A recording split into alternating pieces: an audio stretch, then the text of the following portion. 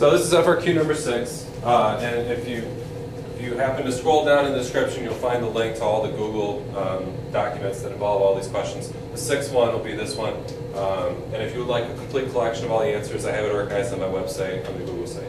Uh, so all of that's in the description. If you have questions, feel free to post them. Um, this is a thermal problem, and it's an essay-based question, and it's dealing with hydrogen molecules splitting into hydrogen atoms. Now, of course, hydrogen is diatomic, so in nature we expect it to be diatomic. This is an extreme circumstance where we're splitting it apart. And we're going to go through the thermodynamics of that. Okay, the first question says, is this process endothermic or exothermic? Okay, and before we talk about that, bonding is very tricky and most people don't really understand. It. And so, so when you're starting this, don't come in with a full set of confidence.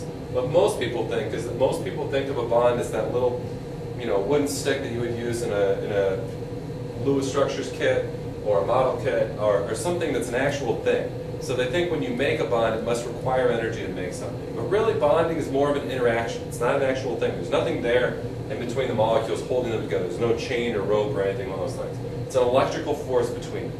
So a magnet force is similar to that idea. So when I hold this magnet here by the wall, and I let go, that magnet being very strong is going to attract towards the board, and the board will attract towards it. And, and what will happen is it'll start with a certain amount of energy of potential by being close to it. And, and as I let it go, it's going to convert that into kinetic and move faster towards it. But you'll notice that when I'm done, this is now stopped. So what that means is, is there was an energy with it that's no longer there, and it's been given off to something else. This is bond making. This is the two things forming that interaction between them. And it involves a, a release of energy to everything else besides the chemical every time you do it. Every bond being made releases energy in its exothermic process. The opposite process is making, or is breaking that bond. And breaking the bond requires me to put in energy into the chemical process of making, breaking that bond. So in this case, what I'm doing is I'm breaking apart a bond. I'm going to be putting in energy to do that. So in order to break this apart, I'm going to have to pull on these somehow, whether it's through speeding them up to the point where they can be pulled apart, through a collision, or something along those lines. But that's going to be an endothermic process. Okay? And delta H will therefore be positive. And that's for the chemical. So then the question goes on and says, well, explain why. Explain why that's endothermic. Okay? And really this could be very simple. You could you could simply just say that you're breaking bonds. You want to you want to identify that you understand what's happening in this reaction. That you start with a bond between the hydrogens, you end without it, and therefore that, that you're having a bond breaking. Now, having read through some of these answers, a lot of people will say things like the bond breaking is larger than the bond making. And there is no bond making in this. If we go back to reaction energy diagrams, you're stopping there. Okay? You're not going to continue on to the point where you figure out whether it's endothermic or exothermic.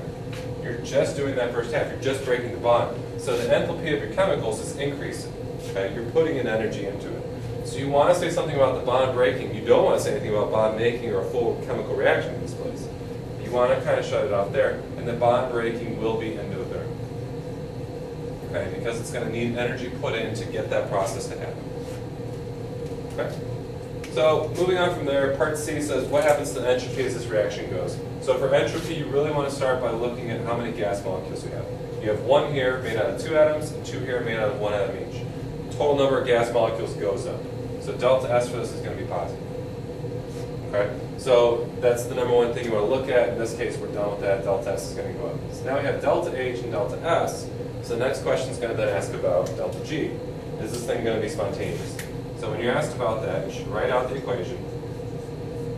And this is an essay question, so no calculation. So I just want to go through and analyze this based on positives and negatives.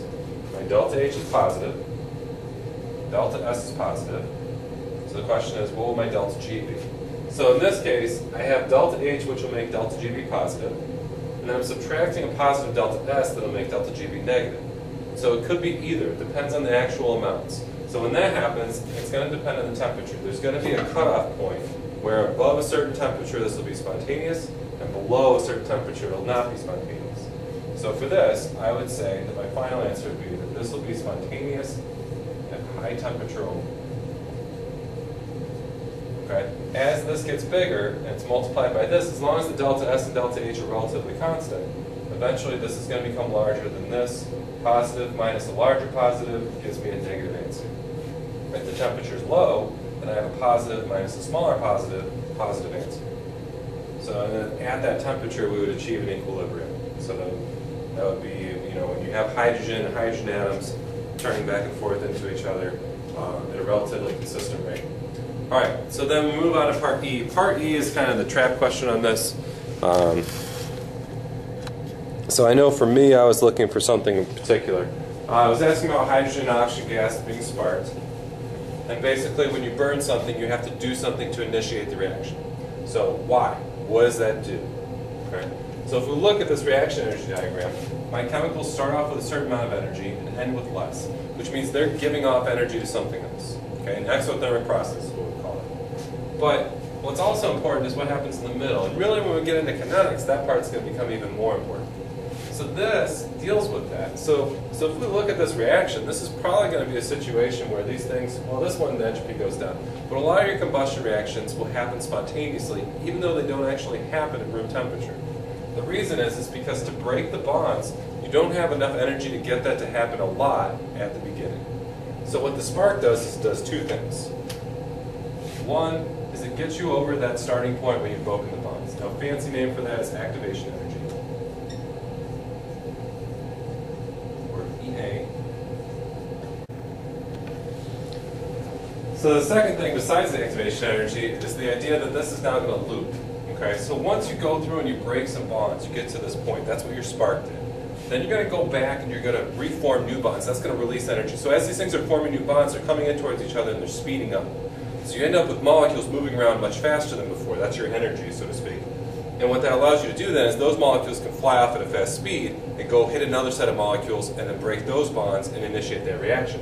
So this kind of feeds back upon itself. Because you're releasing more energy than you put in, every time this reaction occurs, you're able to start another reaction. So once you spark a lighter, you don't need to sit there and keep sparking it to get the reaction to keep going. It'll go on its own. It'll, it'll fuel itself. And I think that idea of why a fire burns once you started it is a pretty nice uh, correlation with reaction energy diagrams. The idea that you're once you've started this and you're falling back down to here, that can then be used on the next set of molecules to, to break those bonds. So the idea of the loop is, is the key idea I think behind that. So if you check below, you'll find all the FRQs. If you have questions, feel free to post them. Suggestions, requests,